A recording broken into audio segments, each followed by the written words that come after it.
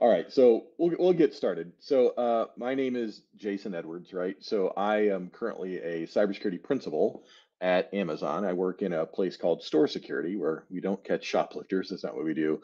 Uh, we provide security for the Amazon store. So the Amazon store is the largest part of Amazon uh, in in 60 plus countries around the world. Uh, we have over 57,000 applications we have to secure, and I work with several thousand really, really smart people, all very much smarter than me, thank God. Um, I was an Army veteran. I, I'm sorry, I am an Army veteran. I was in, I was in the Army for 20 years. Um, I joined in 1991 from the grand state of Illinois and uh, did about 10 years enlisted and 10 years as an officer and, re- and retired here at uh, Fort Sam Houston here in Texas, where believe it or not, it got below seven degrees this morning, seven zero. I think it was like 65, and I believe we deployed the National Guard for an emergency. So uh, not a normal day for us, although it's supposed to get a little bit colder. We're a little twitchy after snowpocalypse a couple years ago. So um, I have worked uh, in several places after I after I left military. I, insurance. Um, I worked as the director of security for an energy company that was nationwide and and a few other jobs. Uh, most recently, I was the chief of staff to the CISO at USAA. You've all heard of USAA. It's a great company, and their security is really good, by the way. Throw that out there. Um, and I enjoyed that for almost five years. About three months ago, um, I changed tack a little bit, and I was um, I was offered a role at Amazon as a principal. And so what I do is I work in strategic growth programs for cybersecurity. I help people build pathways into cybersecurity careers. And today I was asked by our great military affairs team to come in here and talk to you all about um, some cybersecurity jobs, about um, the way Amazon helps veterans. And then I got a couple slides on just things I have learned the hard way over the past 10 years, right? Which I hope helps all of you as you prep for, a, you know, if you've already been out prepping for another job or as you get ready to leave and prep for another job. Just a lot of stuff that I wish people would have told me uh, that uh, now seems kind of obvious, but I know 10 years ago it definitely was not obvious, right, for me. So uh, feel free to chat in the chat room as we go along. I may not see your chats, but um, uh, if I do see some questions in there, I will totally answer them as we go through. Afterwards, uh, free and open for questions right now. Also, I'd like to point out that Amazon has a booth in the expo. If you look on the left side right there, it's expo says button. Don't click it now; it'll you'll leave. But uh, if you go there afterwards, you can uh, you know you can sign up for interest, and the military affairs team at Amazon will get back to you. There's some good stuff we're going to talk about. So let's go ahead and get started. If I can remember how to do this. All right, so there's a lot of cybersecurity jobs out there right now, just in an enormous amount. I'm going to talk about it. But worldwide, we are seeing a massive shortage in cybersecurity. And, and that means all jobs in cybersecurity, right? Everybody usually assumes cybersecurity is technical only, right? If, if I'm not an engineer or I'm not a pen tester, you know, that's not cybersecurity. That's absolutely not true. We need everybody from security awareness training to auditors to QSAs, all the way over to threat hunters and, and, and you know, VM and, you know, vulnerability management and engineering and penetration testing and, and all those kind of things, just everything in between there we are desperate for. I think I about a year ago I spoke at Indeed's conference and uh, just on the site that day, they had 5,500 jobs open for security awareness training, right? For people to go out and teach people in the business how not to click on phishing links, right?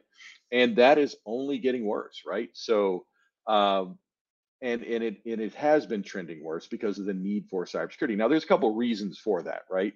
It is not because suddenly everybody's like, "Yay, cybersecurity!" Well, that is kind of the case, right? But it's also because a lot of private sector enterprises are starting to feel punishment for cybersecurity, right? And we saw that start about five years ago, really after the Target attack and then the Equifax attack, right? It is just not acceptable now for a business to lose your data, right? Before then, and some court rulings had prevented businesses from being punished at all, right? Um, but now state laws and privacy laws are coming out in all the states. The federal government hasn't passed a cybersecurity law since 1985, I believe, which is the CFAA, but the states have picked it up. All 50 states are passing privacy laws, they're passing uh, cybersecurity laws, they're passing, passing breach laws, and it is just a ton of legislation that is forcing businesses now to start to do the right thing, which means that they need people to help them do the right thing. Uh, and there's also a lot of companies, especially uh, managed service providers, that are just desperate for cybersecurity folks, right? And so it's a great time to transition into cybersecurity. It really, really is. And and cybersecurity, I just can't keep singing the praises about it, but it's it's a great career, right? And it's it's always changing. It has changed enormously since just the 10 years ago when I left the military doing cybersecurity until now. Um, this one I always kind of laugh at. I just like to throw it up here. Like it's not really the truth, but it is very good. So, um, and I'll talk to you about some of my experiences from when I left the military to where I'm at now. And it's just an amazing 10 years. And I'm very lucky to be where I am, especially working with Amazon, but you can too, right? You can too. If you are motivated, which all of you are, because you wouldn't be here today, right? You can get good jobs in cybersecurity, especially out in the industry and other jobs as well, not just cybersecurity jobs, right? Uh, we'll talk more about that in a second. So this is kind of the current state of the nation. Now I got this from a website.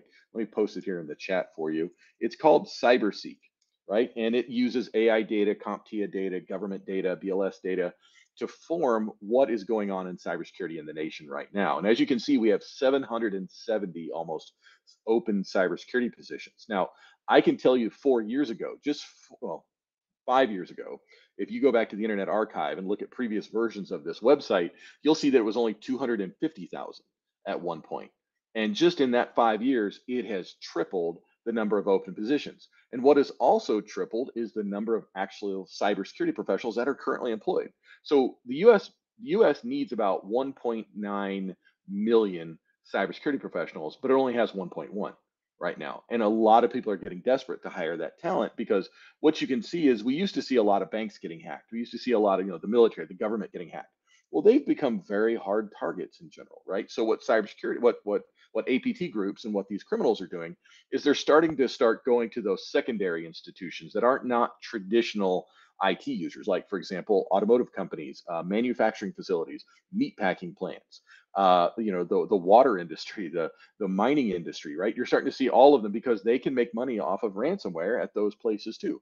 Colonial Pipeline is a great example, right, of where something they never really faced traditional cybersecurity threats until their until their you know their their software was taken down, not the pipeline software, but the actual Windows stuff in the background that was running their building systems, right? But you saw the impact that it had, and the U.S. government and these industries and these sectors are starting to invest heavily in cybersecurity. But that starts with people right? There is no single piece of equipment out there that you can put in your company. Um, vendors will try to tell you this, of course, right? God love vendors, we do. But they will try to tell you, oh, if you just buy this, your cybersecurity problems are solved. It's not true. And most vendors will tell you that's not true, right? You got to have people knowing what they're doing. Equifax had really good equipment. Equifax at the time did not know what they were doing, right? And they managed their cybersecurity very, very poorly. Capital One had great equipment and good money, and they made a lot of human mistakes that led to a breach of a, a million credit card applications, right? And you can kind of see this in these postmortems that are that are happened after. Uh, Jamil Farshchi, who's the new current CISO at Equifax, fantastic person, um, has really turned it around and turned it into a world-class cyber organization. But I'm pretty sure Equifax would have preferred to had a world-class cyber organization to start with, right? And a lot of this comes down to people and experience, and that's why desperately need ex-military, right? We have that experience. And even if we weren't doing cyber in the military, we have a lot of skills and and just attitudes and motivations that make us great employees. And I'm going to talk to you about that a little bit how to how to do that. So if you look across the nation, right, the darker blue means the more cybersecurity jobs needed. It's usually California and Texas are number one right? California always had Silicon Valley. They have a lot of people returning to office out there. You know, they'd like a lot of people to come back and work in the state.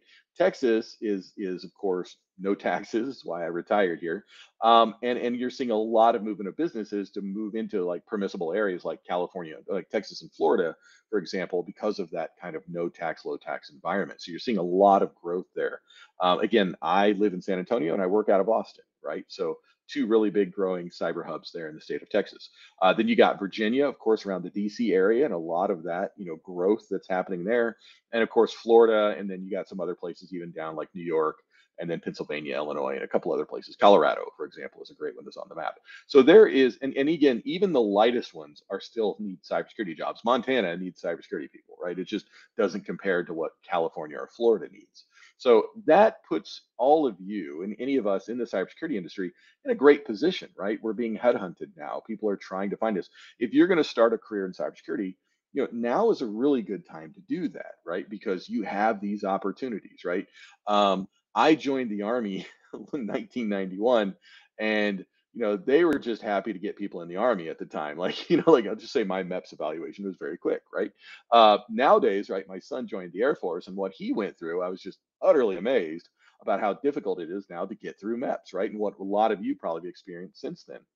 Um, but it is good to be outside the military once you finish your career and it is a great time to do so and there is money to be made and and new careers and just it's it's just the new kind of things that you will see the new challenges you'll face outside of the military right and a lot of times in the military especially if you do cyber um, like i did cyber the last five or six years of my career we called it computer network defense back then of course. Um, it became kind of like us versus the bureaucracy always right? That's kind of the you know we love our military but like the army for example is the big green machine right? It's it is what it is right? You can't change a lot of it. Uh, you can make changes. My first job out of the military you know i had a cio going do it do it. Like that was his attitude. There was no like eight levels of government approval and six army regulations to look at. It was like just do it, you know, get it done, make it make us secure, right? And that was fantastic. And and and over that period of time, I learned a lot. We're going to talk about job postings, resumes, some stuff I've learned, interviews, uh, all that kind of stuff here later in the presentation after I get through some of the Amazon stuff and how Amazon is helping. And again, feel free to ask questions. We're gonna have some time at the end. Um, if I don't talk too much. Uh, but if not, there's always a boost. And, and, also, I encourage everybody if you want to follow me on LinkedIn, uh, if you want to connect with me, just you know send a note to connect with me, and I'll connect back. But um, love talking to vets, and so does our military affairs team. They are all former military, every one of them, and it is an amazing group of people. Never met someone like this before. So tell me if you can hear this when I start this.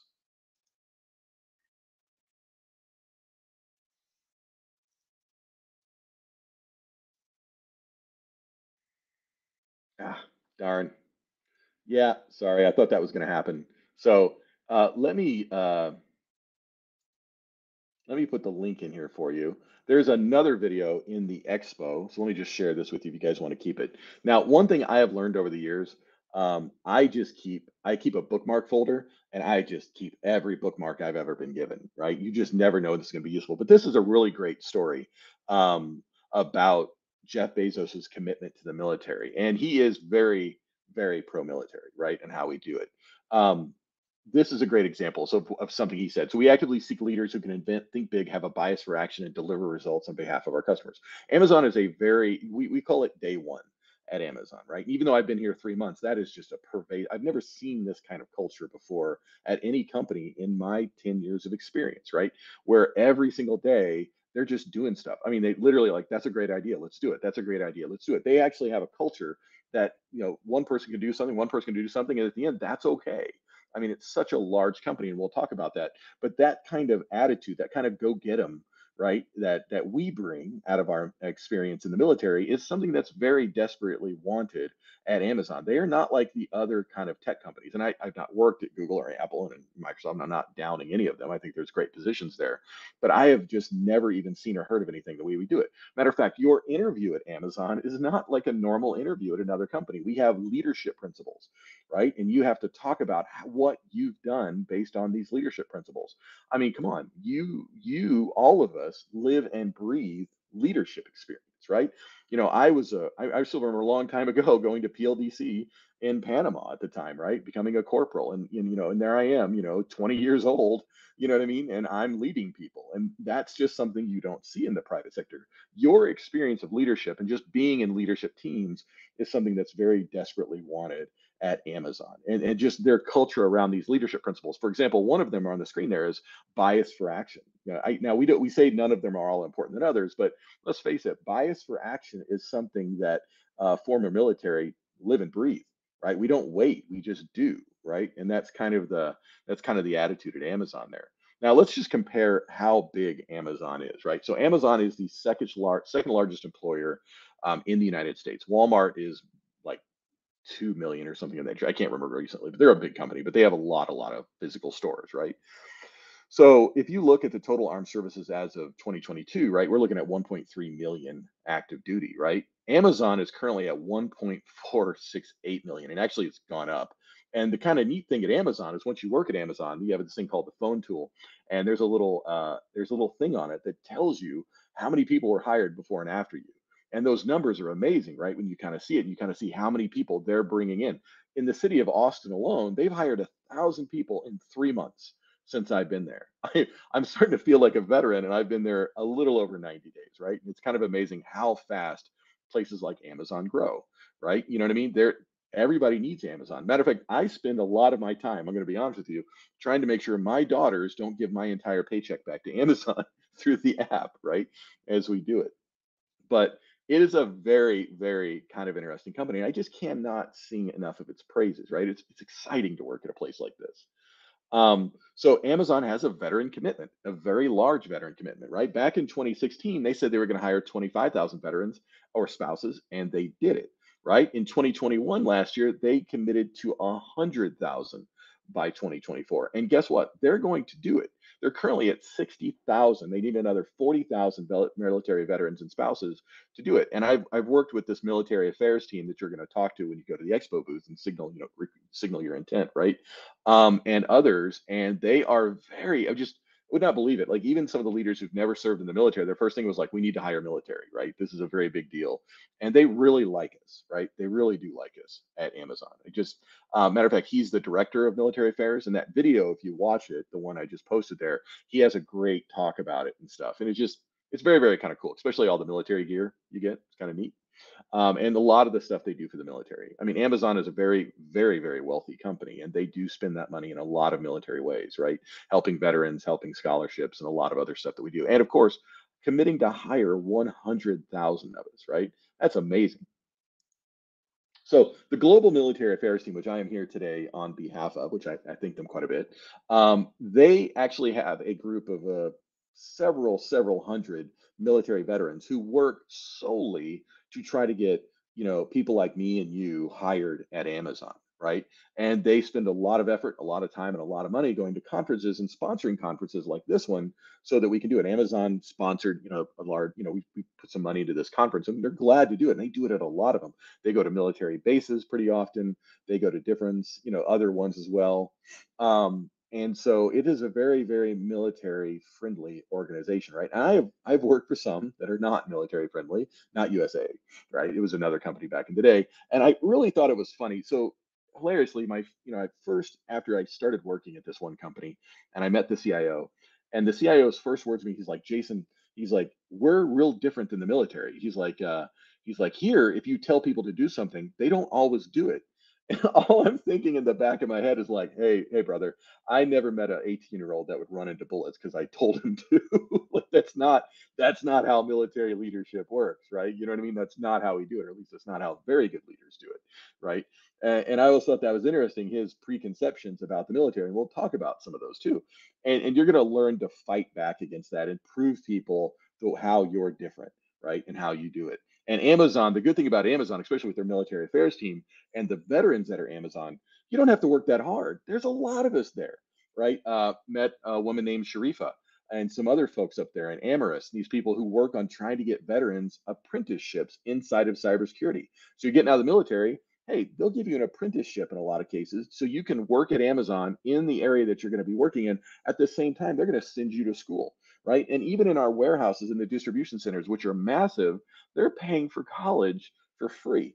And these huge initiatives that they have out there just to give everybody an opportunity, no matter where you are in Amazon, to, to increase your value at the company, right? We don't want to lose people. We want to hire internally into our security program, and we definitely want to hire veterans, right?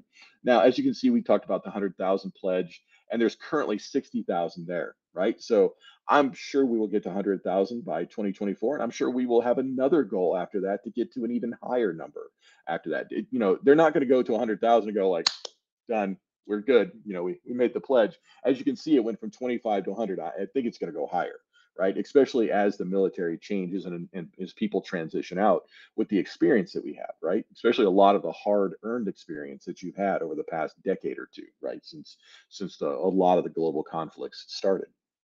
And right now there are over 30,000, I think this is a low number. There's probably even more positions open at Amazon. If you want a job at Amazon, you can get it, right? And I'll talk to you a little bit about that later about, you know, some options with that, right? And how we kind of think around this stuff. But it is not uncommon to see those military t-shirts everywhere, right? I have like three of them by now. Is like my first thing. I was like, I want the military t-shirt, you know, buying it off our swag store when I first started working here. So the first one, I'll, I'll talk about a couple of them real quick, and you can find more of them on these links right here as you go through it. Um, uh, first one is the Hiring Our Heroes Corporate Fellowship Program, right? So uh, they prepare candidates for a smooth transition to civilian career. So what it does, and, and, and also at Amazon, there's programs. So let's say you just get hired at Amazon and you've never worked in the civilian sector. Amazon actually has affinity groups that you can join, and they will give you training. Like for example, how does how does Amazon Pay work in the civilian world? you know how do deductions work in the military? I mean in the civilian world right? We don't have les's anymore. We don't have dfas to complain about right? How does that actually work for you? And a lot of these other skills that you know what i call life skills that we just don't have. Like i joined the military my, my previous employment prior to Ar- the army was hardee's restaurants in bloomington illinois right? I for 20 plus years i no idea how this kind of stuff works or or the the the you know the the faux pas you may actually commit and stuff like that um so uh, you must be within 100 days of transition and uh, for military service for the duration of the program. And so please get a chance to go check that out um, as one of them if you're interested in that as well. And again, go to the expo booth, signal your intent. They will reach out to you and start working with you. Uh, the Amazon Skill Bridge Fellowship is another one. It's another one uh, if you're separating within 180 days. Um, and it's part of a DoD program called Skill Bridge, right? And Amazon is one of the people that's a founding partner of that that you can actually be involved with as well. And again, to learn more about these programs, you know, go to the expo booth, signal your intent when this presentation's over, um, and you know, please do, please do. All right, so military pathways is another one. Oh, sorry, did I go back the other way? No, military pathways is another one. Um, so uh, they also provide a military skills translator where you go in there. Now, one of the things I'll talk about here in a little bit when we get into resumes and stuff, right, is that you know the jargon we use. So, for example, in the army, I was um, was I was a 19 Alpha, right, armor, right, when I became an officer, um, and then I became something called an FA 53. Literally, no one understands that. No one even understands the numbers we use. It's like it's like going in there and trying to explain stuff. They just don't have that concept, right? And a lot of what the private sector understands about the military, unfortunately, is through movies, which we all know how that works, right? You know what I mean? Um, you know, some good hoorah, but they're usually almost always wrong, right? Um, and you're going to be kind of fighting against that in some places. Not so much at Amazon. I'll be honest with you. I've not had that at Amazon where somebody's come up to me and go like, hey, you know, like they don't understand. Although I've, I've been out for kind of 10 years by now. But again, you don't have that as much as Amazon. We have a lot of vets here. And that video also shows, especially some of our wounded warriors that work at Amazon, especially a first sergeant who's incredibly an amazing person uh, that they showcase in that video that I linked earlier. Uh, last one also, we want to hire military spouses, right? Currently, there's more than 10,000 military spouses, and they have flexible arrangements for jobs too, right? If, if you PCS, then and there's an Amazon place to buy, or you can work from home in some cases, right? They're going to keep you. They're gonna they're gonna work with you on that, right? And again, it's part of that 100,000 pledge to be able to hire our spouses, right, who pick up all that slack for us and do all the work for us uh, when we're out, you know, road marching and jumping from airplanes and all the other kind of crazy stuff that we've done over the years. Um, yeah, awesome. Thanks, an hour. Thanks for thanks for posting that. So, and again, and I like to highlight the bottom of these slides, right? So, no matter your military rank or specialty, Amazon has a job for you, right? We will find you a job. And and again, what I like to talk about too is when you get out of the military, and I had this exact same. I was like, I am going to be a vice president uh, CISO or whatever it is. I have, you know, I've been in Iraq and I've commanded and I've done all these great things, right? And and uh, and and that's not the way the private sector works. And you don't need that to be successful, right? But you know, a lot of us, you know, think we're going to get that dream job, and we don't get the dream job. We we kind of get disappointed a little, right? It happened to me, and I'll talk about that in a little bit. But guess what? That's okay. I call that dream adjacent a lot of times getting a job in a company is a good thing because it's easier to get hired internally for another role right? Usaa amazon they're both very much like that right? Especially when worked at usa amazon is very much like that you know? So you know we focus on trying to hire veterans and of course veterans that work in our operations centers right? We try to give them opportunities to move up as well um, instead of just you know instead of just picking other people over them. So let's go through some of my experience, right? You can all laugh along with me or laugh at me. I'm good with either. I have four children, three daughters, right? So knock yourselves out, right? Um, but some of the stuff that I learned the hard way coming out of the military, and please in the chat, you know, reinforce it. Do you agree? Do you not agree? Right? I'd like to hear your feedback as we go through it because this is kind of a new part that I've never really kind of spoken about before. Because um, usually I don't speak to military. I speak to a lot of private sector folks about stuff, and so they don't kind of get some of this.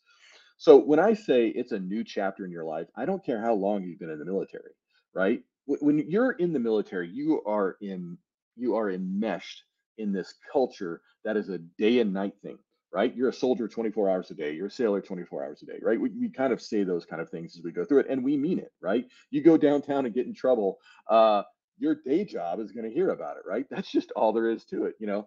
Um, that is not the way the private sector works, and it is going to be quite the adjustment for all of us, right? It was really hard for me. I'm, I'm not talking about the fact that, yay, I don't have to get up at five o'clock in the morning to be anywhere uh, unless it's a job, but it is a change in your life. And you have to understand that and take that.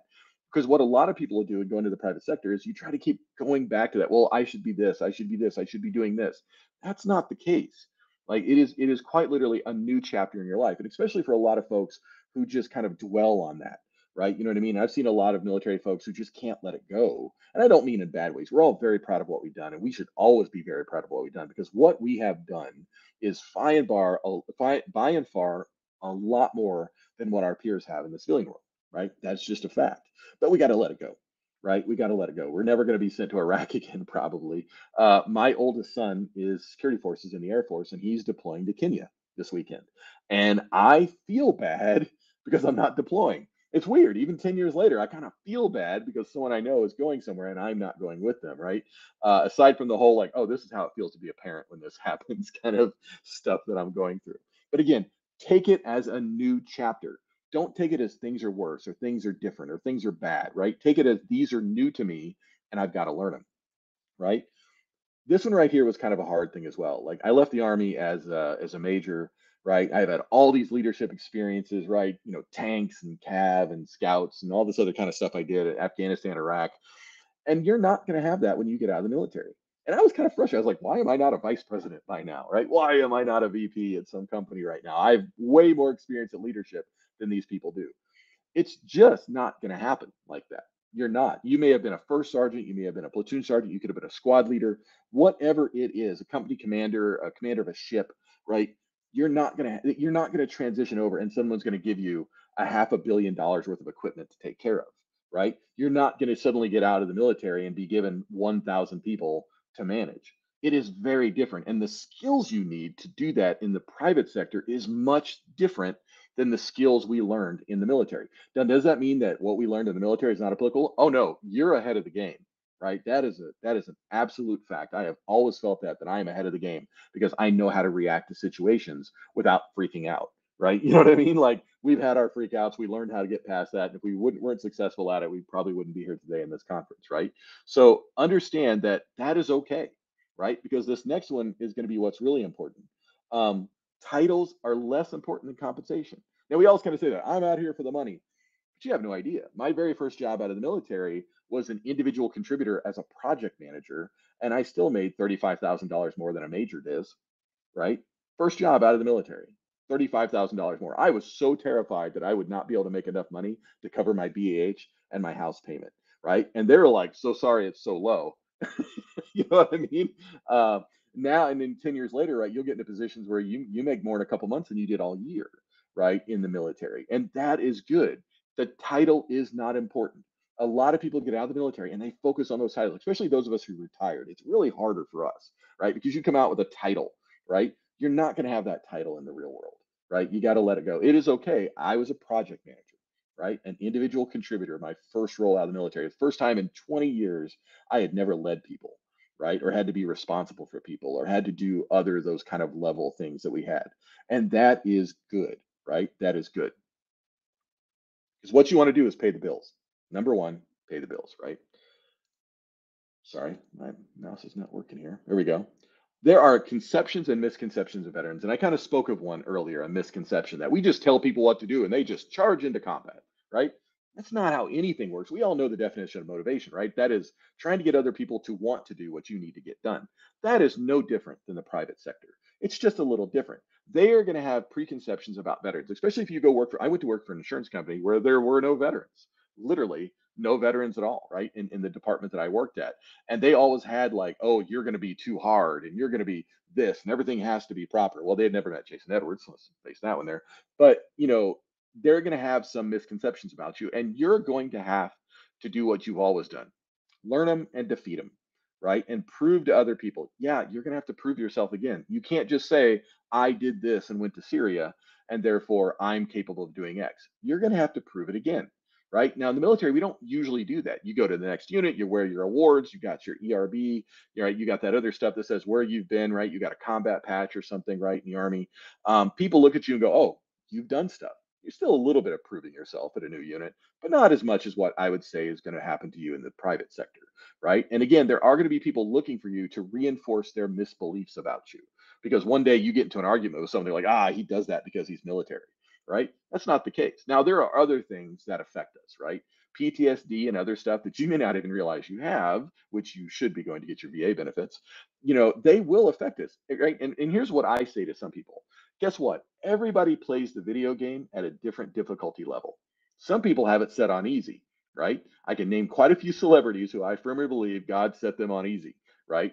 Uh, on how they play this game. We are not at that difficulty level. You are going to have different difficulty levels, but at the end of the day, you got to beat the game, right? You got to beat the game, and you can do it, right? Of any population in this country, you are easily the most qualified to make this happen right? But you got to be self reflective enough to understand these kind of things as you go through it, right? Work hours and pacing is a great example of this because they are much different in the private sector than they are in the military. My first like two weeks of my job, I'm trying to get stuff done. It's like 6:30 in the evening, and the CIO is like, "What are you doing?"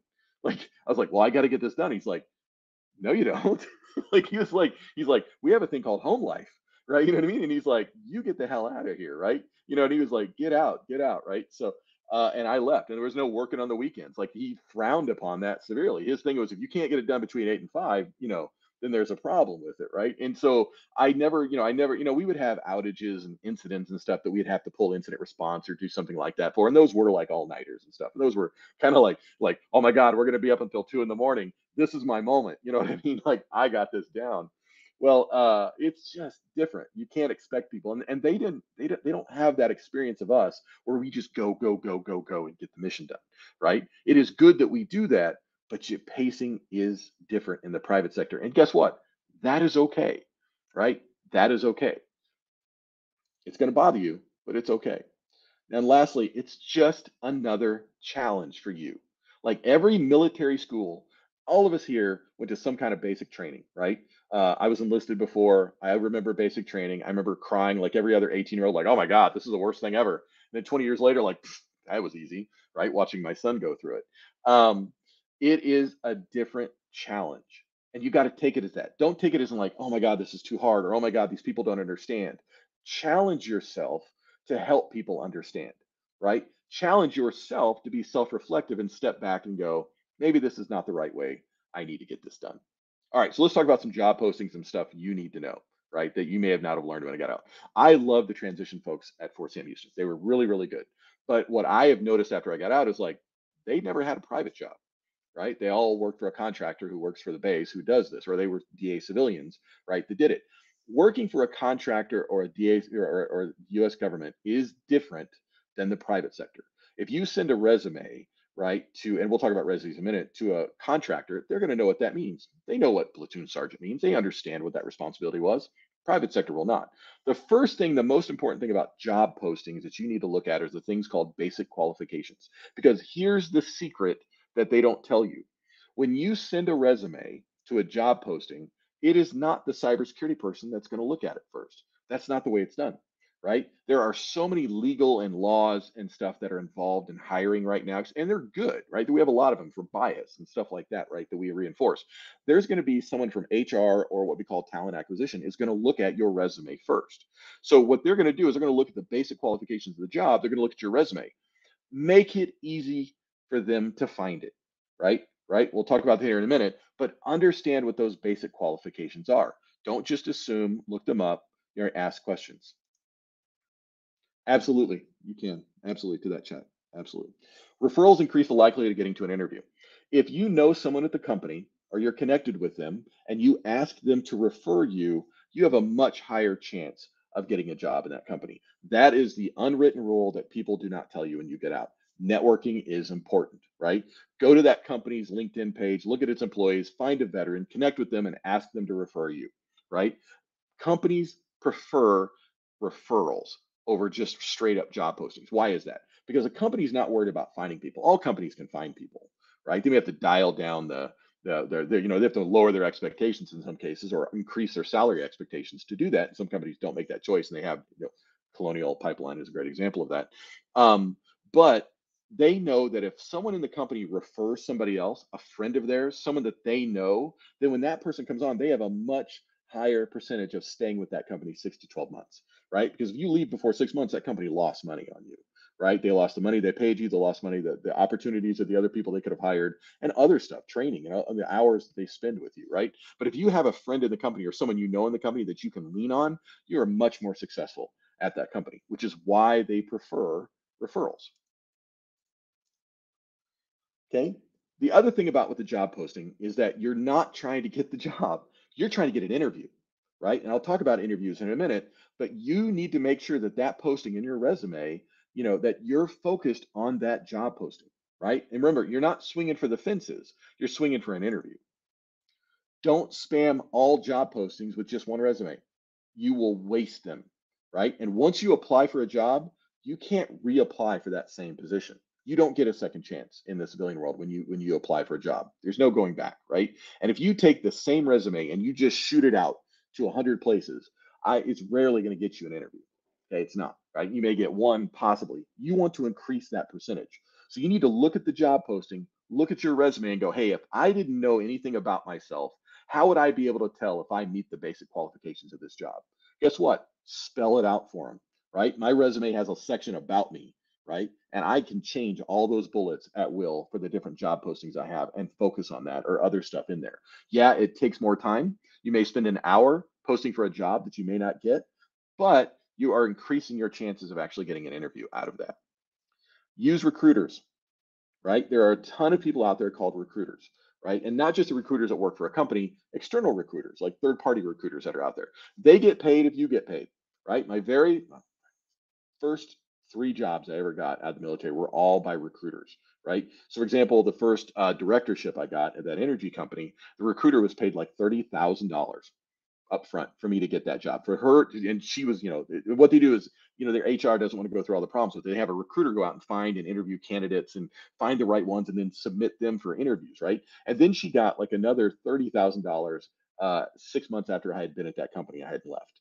So they encourage recruiters to help keep you at the company, and that's how they do it. Uh, some recruiters are good, some recruiters are not, and you will find that. Especially some will ghost you, and I, I really hate that. Most of them are not doing anymore. We've kind of shamed them into stop doing that. But consider using recruiters to help you find a job. Now, here's one thing that you may not know. If you apply for a job on a company's website and then you go out and find a recruiter who wants to help you get that job, they can't do it some cases. They can't. So it's it's kind of their contract with some of these companies. Here's the other thing that's very hard. It was really hard on me. Why didn't I get the job? You're not going to know. Companies will not tell you. And the reason for that is if they tell you anything, it opens them up to a lawsuit. And so companies have the standard blurb email that you're going to get. Hey, thank you for applying for this position. Uh, at this time, your whatever qualifications don't meet what we're looking for, or or they'll say something like, "We've decided to move on with a different candidate." You know, thank you for your interest in it. Please take a look at other job postings. That is the generic thing you will get. Now, if you work through a recruiter, a recruiter can sometimes tell you, you're like, hey, you know what? Don't fart in your interview. That's a bad thing. It didn't happen to me, but I just think that'd be funny. Um, but the company will never tell you. So you don't know what you did wrong in some cases, which is why it's very important to network with other people who can help you, right? Yeah, it, and you don't and you want feedback right you just want honest feedback i remember calling this one job and i'm like can you tell me like you know was there something i need to change on it and they're like you lack capital experience i didn't know what that meant i didn't know what that meant i don't know what capital experience meant right it took me a while to figure that out but again and we'll talk about resumes here in a second have patience. You're going to get a job, right? I was terrified the day I left and I didn't have a job yet lined up, right? I was still applying at places. I was literally terrified. You know, I had my I had my ETI, I had my terminal pay, I had my leave, I was burning off, I was fine, right? You know what I mean? But I was terrified that the day I left the military, I didn't have a job. Okay. So, um, and that's a good one, yeah, too, right? The referrals, yeah. So have patience. Continue to press forward with all the things that you're going to learn here and other places to get that position. All right, resumes. Now, the other thing is some resumes are called CVEs, curriculum vitae or whatever. Uh, so don't freak out if you see the word CV because I was like, CV, CVE, what does that mean, right? Um, and then you, I finally figured it out, right? So it just means resume. Why can't they say resume? I don't know. First of all, make it nice. Do not use just a complete list of text, right? It's boring. Don't do it. Now, also, I'm not saying go in there and make your whole resume red, white, and blue with pictures of bunnies, right? Don't be doing that. Like Iwo Jima flag raising. Like, no, no, no, don't that. There's a ton of examples out there. Mine is blue with some gold, and it's got white spaces where you know black text is on it with some fonts and other stuff like that, right? Make it a little bit nicer. Take your time on it because someone who doesn't know you is going to look at this and they're going to gain an immediate impression, right? If you make spelling errors, right, that's a no-go on a resume. And, and here's the hard thing when you read your resume 87 times, you're not even going to catch it you have to have other people look at it for you, right? You do. All right, data and metrics, but avoid some common mistakes, right? It is very common for a military resume to say, I was responsible for 14 soldiers, two officers, and half a billion dollars worth of tanks. What does that mean? What does that mean to, to someone in the private sector? It means nothing right? They you're you're by the way in the military you're going to have some spectacular hand receipt number that you're always going to be responsible for, right? You know, I saw one and it was from a it was from an Air Force officer and it was like you know three billion dollars worth of airplanes or something, and I'm like, and what is that going to do for us?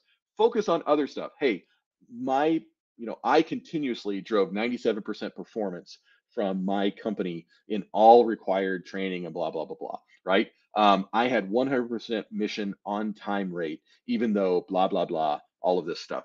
Performance metrics not what your hand receipt accounted for. Performance metrics okay? No evaluation bullets right? Um, i have literally seen people's linkedin that was their air force oer right? And and i'm looking at it and i'm like i don't care if you were the number one post office like I don't care, right? Like that that's a horrible thing to put on there. I was the NCOIC of the DOIM at Fort Gordon. Well, first of all, nobody knows what that means. Nobody knows what NCOIC means, right? You know, don't use OER, NCOER, ER bullets on your resume. You're gonna have to write them in a format that people can understand outside the military. Focus on outcomes. I did this, and this is what resulted in, right?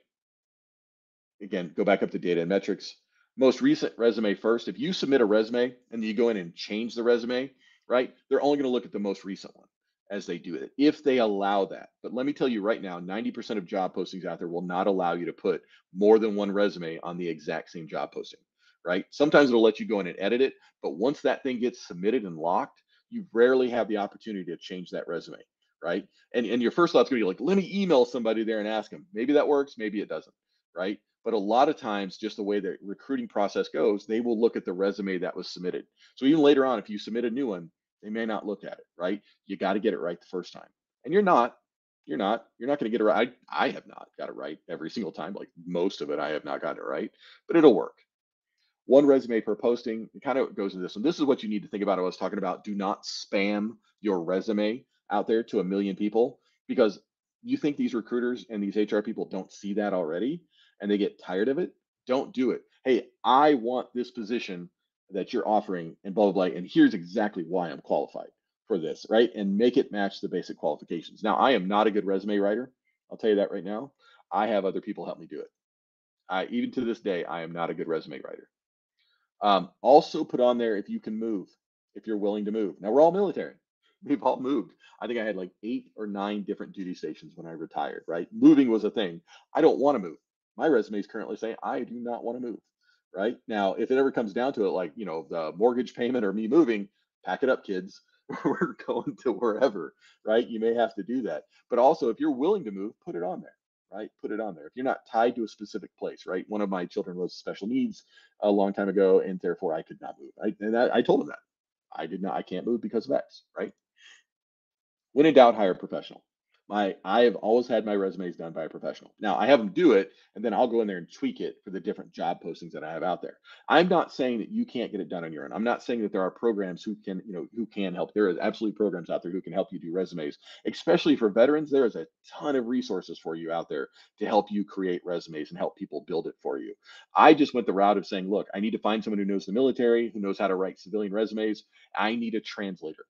I knew that when I was coming out of the military, I knew it because I'm looking at these resumes and like, especially when they said you don't have capital experience, I'm like, no idea what that even meant, right? No idea what that meant. And I am a little bit, I going over. I'm over, right? Did I go over? Okay, let's get through this real quick, right?